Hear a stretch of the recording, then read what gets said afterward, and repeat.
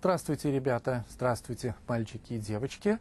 Вы уже собрались у экранов телевизоров, и мы рады вместе с львенком Левой и зайчонком Ушастиком, нашими старыми добрыми друзья, мы рады новой встрече с вами в нашей телевизионной студии на очередном уроке, нашем телевизионном уроке по русскому языку. На прошлых двух занятиях, напомню, мы с вами говорили о местоимении. Тема, ну, на первый взгляд, она может показаться э, простой, но на самом деле, э, вот как уже доказали контрольные работы, которые в лесной школе писали львенок и зайчонок, э, где сделали много ошибок. Вот оказалось, тема не такая уж простая. Это касается и склонения личных местоимений, например, и правописание э, личных местоимений с предлогами. Об этом мы говорили на прошлых уроках, и, как показывают результаты э, очередной контрольной работы, которую писали львенок и зайчонок у себя в лесной школе, результаты хорошие, по крайней мере лучше, чем были на первой контрольной работе.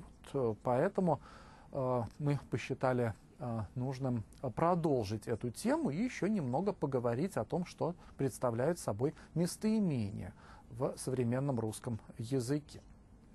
Тем более, что и львенок, и зайчонок, вот они мне подсказывают, они э, начали э, проходить такую тему, как разряды местоимений в русском языке.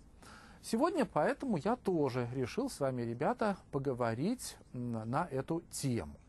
Итак, тема нашего с вами сегодняшнего урока – разряды местоимений.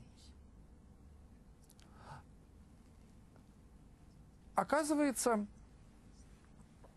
местоимения э, бывают не только э, личными, э, как мы уже с вами знаем. Напомню, мы познакомились на одном из предыдущих э, занятий с тем, что такое личные местоимения, как они склоняются. Это местоимение, напомню, я, ты, он, она, мы, вы, они. Это личные местоимения, которые употребляются очень часто, поэтому мы на них и обратили особое внимание, и э, мы узнали, как их э, правильно склонять, изменять по падежам. А для того, чтобы правильно писать местоимения, э, особенно личные местоимения э, с предлогами, мы э, об этом говорили на предыдущем уроке. И хочу напомнить самое основное, что мы усвоили, местоимения с предлогами пишутся раздельно. Вот это основное, что нужно запомнить, ну, помимо всех остальных правил. Э, так вот, сегодня мы поговорим о разрядах э, местоимений, и мне э, помогут рассказать вам об этом и зайчонок, и львенок. Тем более, как я уже сказал, в лесной школе они эту тему уже проходят. Итак, еще раз напомню, тот разряд местоимений, который мы с вами уже хорошо знаем, это личные местоимения. Но помимо этих личных местоимений, бывают и иные. Э, первый разряд местоимений, э, с которым мы сегодня познакомимся, называется вопросительно-относительный. Давайте посмотрим с вами на экран. На слайде мы сейчас увидим, как называется этот разряд местоимений в русском языке. Итак, вопросительно-относительные местоимения. Давайте с вами подумаем, ребята, какие же а, вопросительно-относительные местоимения мы знаем. Вот мне а, зайчонок шепчет, что, по его мнению, ну, насколько он запомнил из того, что учительница объясняла на уроке, к этому разряду относится местоимение «кто». Да, зайчонок совершенно прав. И львенок его поддерживает и говорит, что к этому же разряду относится и местоимение «что». Итак, кто, что, действительно, в этом зайчонок и львенок абсолютно солидарны. Э, эти два местоимения относятся к вопросительно-относительно. Но далеко э, этим не исчерпывается этот разряд. Э, помимо этих двух местоимений «кто» и «что» вопросительно-относительный разряд местоимений относятся такие слова, как «какой», «чей», «который». Вот давайте с вами сейчас посмотрим на экран и постараемся запомнить эти местоимения, то есть те слова, которые относятся к разряду вопросительно-относительных местоимений. Итак, это такие слова, как «кто», «что», «какой», «чей», «который».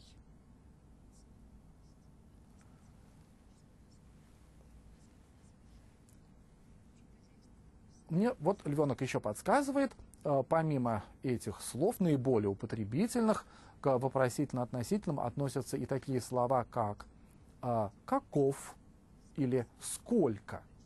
Ну, я думаю, понятно. Слово «сколько» э, употребляется достаточно часто, но в очень ограниченных ситуациях. Это тот случай, когда мы спрашиваем о количестве. Например, сколько стоит или сколько ребят э, пришло на концерт и так далее. Ну, надо сказать, не очень э, часто такие ситуации всплывают, не говоря уже о таком слове, как «каков». Слово стилистически окрашенное, и я думаю, вы со мной согласитесь, не часто мы это слово употребляем в устной речи. Но помнить о том, что слова «каков» Э, например, относятся тоже к этому разряду вопросительно относительных местоимений, необходимо, потому что в письменной речи, э, в художественной литературе, особенно в классической русской художественной литературе, это слово встречается достаточно часто. Так что нужно помнить, к какому разряду местоимений относятся эти слова.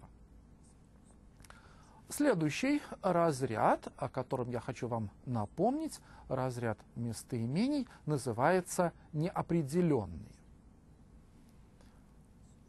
Сейчас мы с вами постараемся вспомнить, какие местоимения относятся к этому разряду. Обратите внимание на название разряда неопределенные уже это название само по себе говорит, что э, сюда относятся местоимения, тоже часто нам встречающиеся, э, которые передают э, ну, неопределенное количество, например, нечто, некто, некоторый, несколько. Да, действительно, мы говорим несколько человек, некоторый человек, например, тоже можно э, сказать. Некоторые люди во множественном числе. Или мы можем э, сказать, некто зашел в подъезд. Вот такие фразы тоже возможны в русском языке. И все эти местоимения, они относятся к разряду неопределенный. Давайте с вами посмотрим на экран и поймем, повторим и постараемся запомнить, какие именно местоимения относятся к разряду неопределенных. Понятно, что к этому разряду будут относиться местоимения «некто», «некоторый», «несколько». Но сюда же относятся и местоимения «кое-что» или «кто-нибудь». Внимательно посмотрите и запомните. А мы с вами продолжаем разговор о разрядах местоимений в русском языке.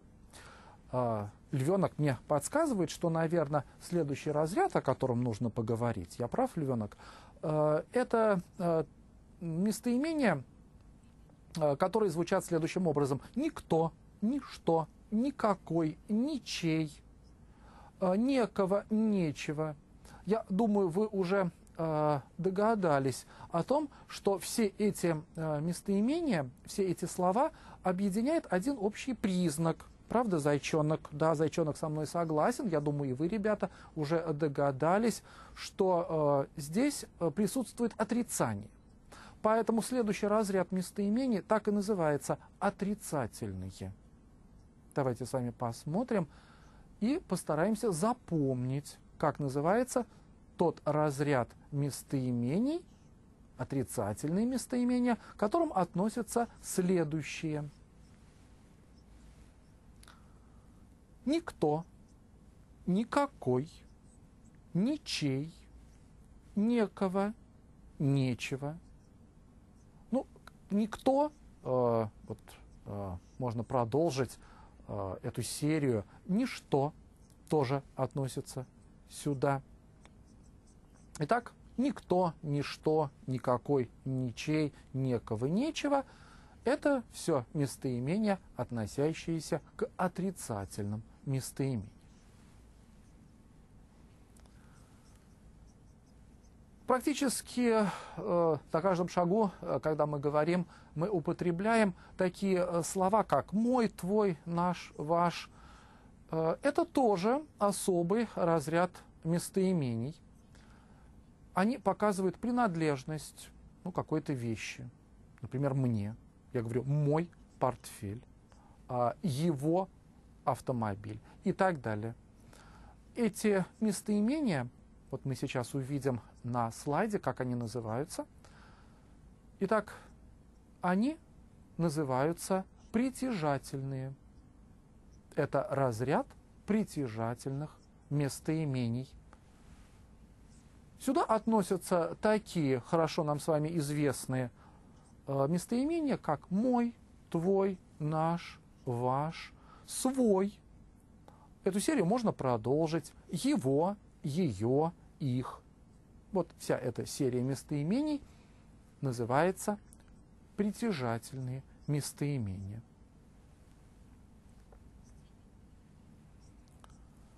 Зайчонок меня э, только что спросил, а э, такие местоимения, как тот, этот, такой, э, это отдельный разряд или они относятся к какому-то разряду, который мы уже с вами обсудили?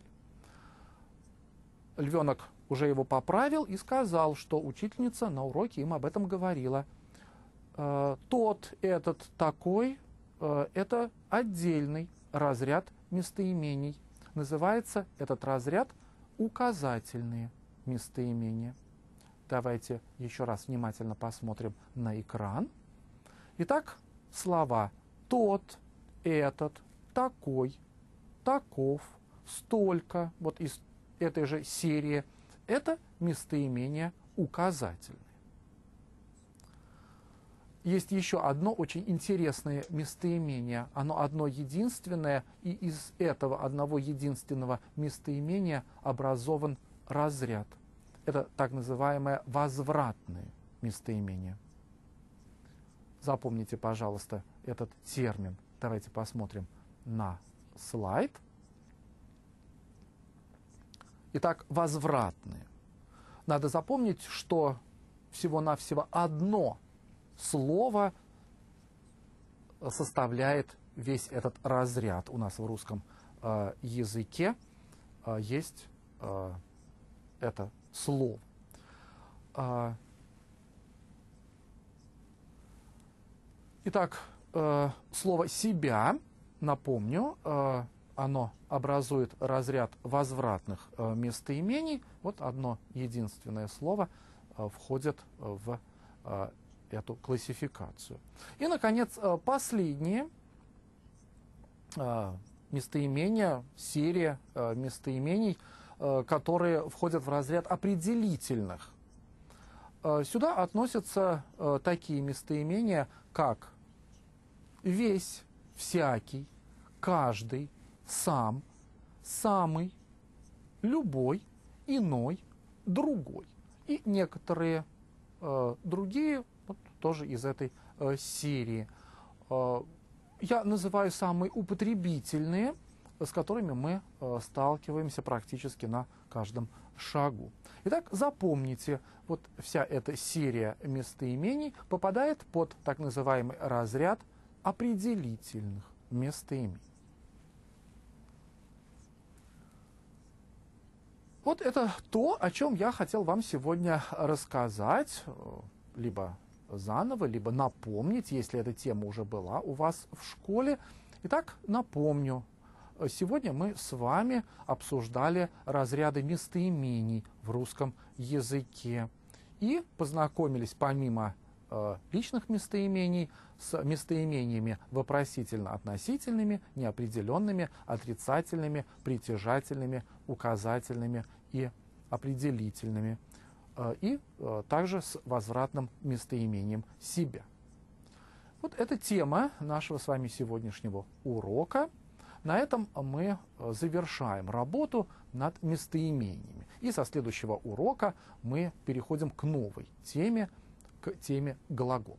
Но это уже материал следующего телевизионного урока, на э, который я вас вместе с нашими друзьями, львенком и зайчонком, конечно же, приглашаю. А пока до свидания, до следующей встречи.